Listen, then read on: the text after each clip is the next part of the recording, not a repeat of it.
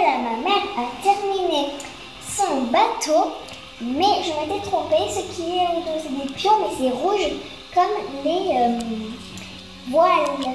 Là, je vais vous le montrer. Ici, vous voyez, ce sont des pions, mais c'est rouge comme les voiles. Du coup, bah, ça le fait.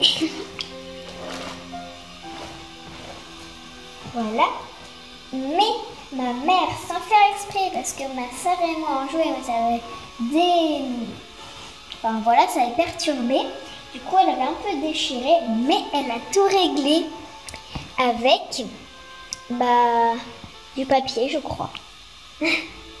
Ici, c'est une toute petite colle. Juste avec, un peu de colle. avec un tout petit peu de colle. Ici, je ne sais pas si vous voyez, mais du coup, comme c'est une petite déch- déchirure, ah, là aussi, c'est un petit peu déchiré. Mais on s'en fiche, parce que je crois que derrière votre écran, vous ne le voyez pas. Pas que je. Voilà. Parce que là, je vais juste ici.